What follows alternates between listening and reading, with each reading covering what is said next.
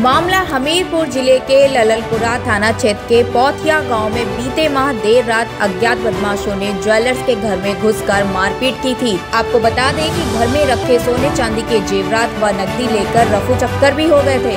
पीड़ित परिजनों की शिकायत पर पुलिस के उच्च अधिकारियों ने घटना स्थल पर पहुंचकर जाँच की। साथ ही पुलिस अधीक्षक कमलेश दीक्षित ने कई टीमों का गठन किया ताकि आरोपियों की गिरफ्तारी की जा सके।